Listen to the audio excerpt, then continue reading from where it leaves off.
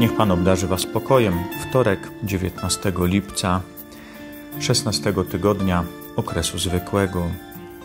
Nie tyle kontynuujemy, co kończymy już lekturę księgi proroka Micheasza.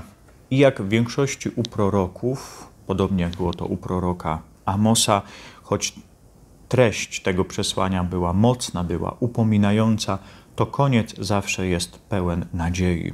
I tak samo dzisiaj jest u proroka Micheasza.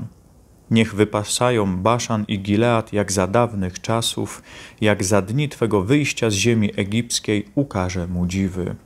Tak mówi Bóg, ciągle wracając do tego, że były dobre czasy między Izraelem a Bogiem i On chce, aby te czasy wróciły. Może już nie w taki sposób, bo często mamy sentyment do starych rzeczy, ale chodzi o to, żeby budować na nowo relacje. Bóg dzisiaj mówi, że ja zrobię wszystko, żeby tą relację naprawić. Okażesz wierność, a wrzucisz w morskie głębiny wszystkie ich grzechy. To chce zrobić Bóg. Wrzucić wszystkie nasze grzechy w morskie głębiny, pogrzebać tam, niech spoczywają w tym morzu, niech spoczywają tam na dnie, tam skąd nikt ich nie wyciągnie. My byśmy dzisiaj już powiedzieli, jak wraki wielu statków gdzieś tam są, lepiej ich nie ruszać. Tak Bóg chce wrzucić te wszystkie grzechy, żeby naprawić tą relację między nami. Ciągle jest oczywiście nawiązanie do wyjścia z Egiptu, tak jak i Ozeasz nawiązywał do tego pobytu na pustyni, gdzie Izraelici byli z Bogiem, Bóg był z nimi, gdzie oni doświadczali Jego błogosławieństwo, a On nad nimi to błogosławieństwo roztaczał. I Izraelici nie mieli innych bogów, nie szukali, nie pragnęli, tylko mieli relację z tym jednym Bogiem. To trochę dziwne polskie tłumaczenie, ale właśnie ukaże mu dziwy, czyli właśnie cuda. Nieustannie będę zaskakiwał, tak jak i podczas wędrówki przez pustynię. Nie mieli wody, to Bóg wyprowadził ją ze skały. Nie mieli mięsa, zesłał przepiórki. Nie mieli chleba, dał im mannę.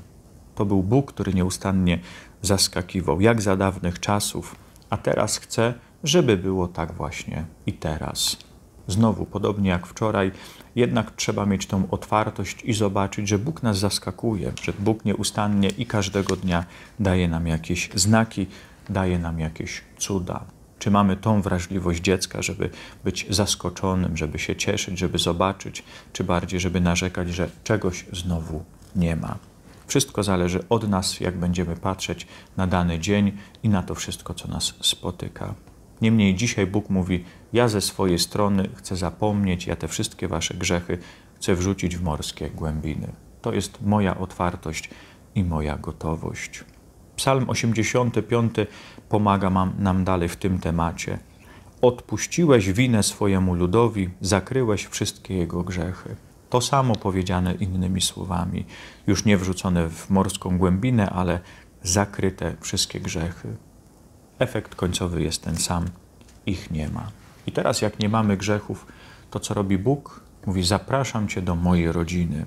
Ten fragment dzisiaj z Ewangelii, gdzie Chrystus pyta: Któż jest moją matką i którzy są moimi braćmi? Tam na dworze stoi Jego biologiczna rodzina i oni są ważni dla Niego. Ale Chrystus mówi: Ale ja przyszedłem na świat, żeby zaprosić więcej ludzi do relacji Chciałbym, aby cały świat zobaczył Boga jako Ojca, żeby zobaczył we mnie swojego brata, tego, który jest bliski, żeby zobaczył Emmanuela, czyli Boga, który jest z nami. I wyciągnąwszy rękę ku swoim uczniom, rzekł: Oto moja matka i moi bracia. Oto moja matka i moi bracia. Trochę może zrobił taki gest i powiedział: O, proszę bardzo, to to jest moja rodzina. Ja wszystkich zapraszam. Już nie tylko więzy krwi, które są ograniczone w jakiś sposób i inni do, do tej rodziny nie mają dostępu, ale dzisiaj zapraszam wszystkich. Wszystkich tych, którzy pełnią wolę Ojca. Wszyscy ci, którzy chcą zobaczyć w Bogu przede wszystkim Ojca, tego, który stworzył cały świat, tego, który stworzył całą ludzkość, a teraz możemy w Jezusie Chrystusie być z Ojcem pojednani i tworzyć jedną rodzinę. Niech dzisiaj to zaproszenie, to zaproszenie Chrystusa będzie dla nas radością. Jesteśmy w Jego rodzinie, jesteśmy Jego bliskimi, jesteśmy Jego krewnymi. Od Niego doświadczamy miłości i błogosławieństwa i z tym chcemy też wejść w dzień dzisiejszy. Pan z Wami, niech Was błogosławi Bóg Wszechmogący, Ojciec i Syn i Duch Święty. Amen.